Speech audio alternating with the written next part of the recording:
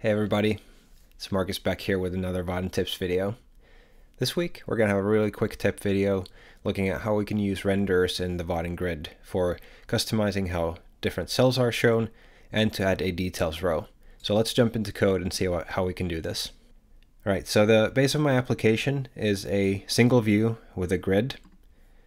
The grid is nothing special, so I just have a grid hooked up to a array of people and then I've defined some Vaadin grids that are sortable, so using the Vaadin grid sort column that are mapped to the paths on the person object.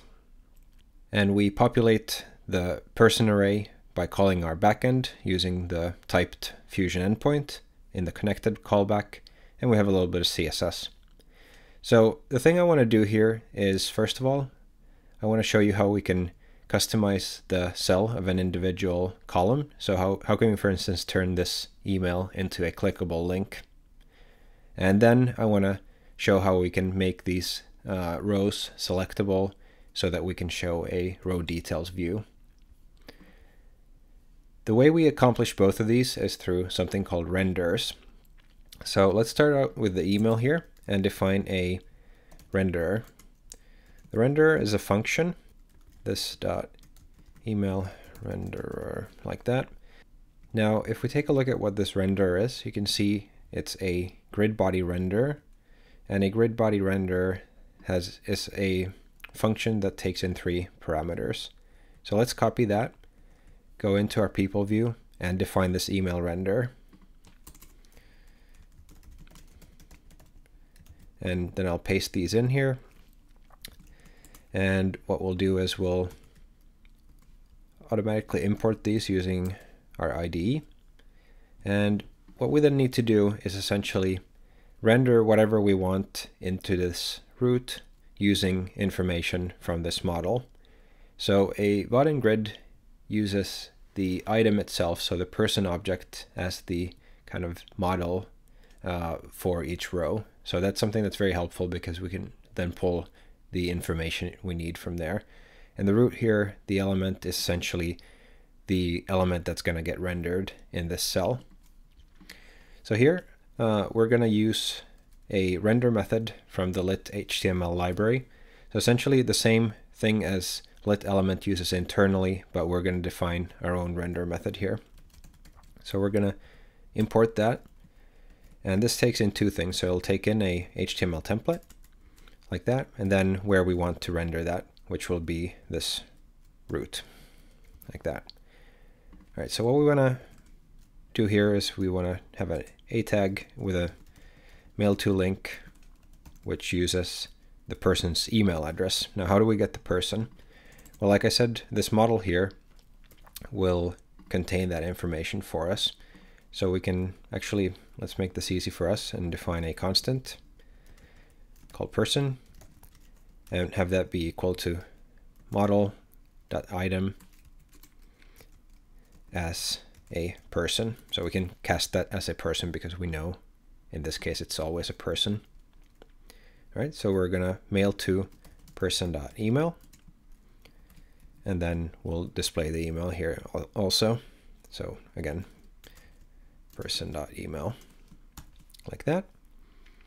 This column we don't need, and you see it's highlighted in yellow here, so it's going to give us a compiler warning. We can avoid that by just giving it a underscore name signaling to TypeScript compiler like we we know this is unused and we don't care about that.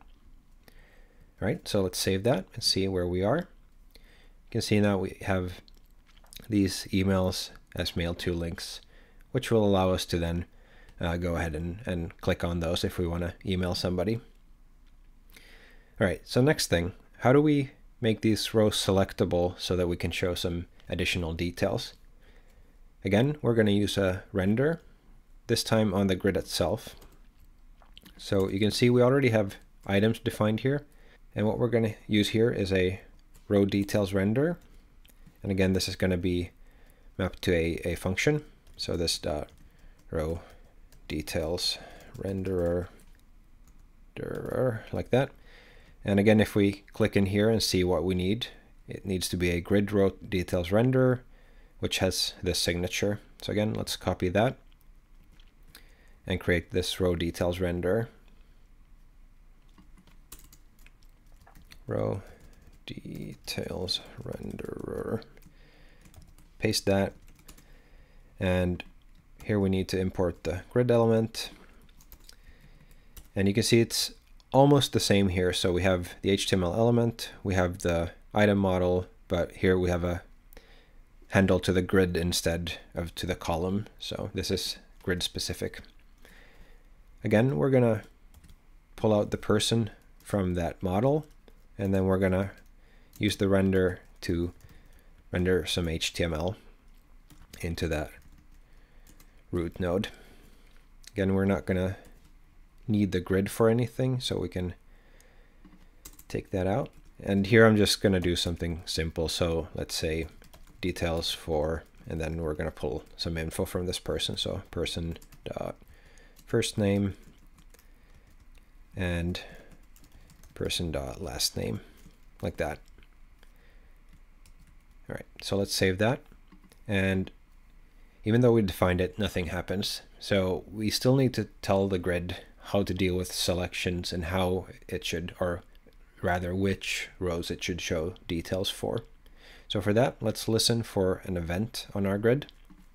So on active item change, changed rather, we should call a method. So this dot toggle details, and then we'll go ahead and implement that. So let's go down here toggle details takes in an event, which is a custom event. And here, what we'll get is essentially the events detail will contain the selected item, which is essentially a person, or null if that item was deselected. So, so again, let's do const person is equal to e.detail.value as a person. And then I want to store the selected person, essentially which rows do we want to have open. And I'm, I'm going to display them in two ways. So I'm going to open the row details and also show it as selected. So let's create another internal property here to track that state. Internal property, and we're going to use this as a private uh, selected Let's call this selected items because that's the wording that the grid uses. And this is also going to be a person array that starts out as empty. So we don't have anything selected from before. Then we can bind this selected items to our grid. So selected items should be equal to this, uh, this dot selected items. And also uh, details opened item. So this is this determines which rows will have their details uh, views opened. Again, we're going to use the same uh, selected items for this. All right, and then the final thing, now that we have this property selected items, is to actually set it. So let's clear this up a little bit. So this dot selected items is equal to, and then we check if we have, if the person is set, then we'll put this as a single person array like that. If not, we'll set it to an empty array, essentially clearing out whatever selection we had. All right, save it. Let's see where we are. We can now select a row, and you can see we have some details here for that person. And there you have it. That's how we can use renders in a Vaadin grid to either customize cell content or show details for a selected row. I hope that was helpful for you.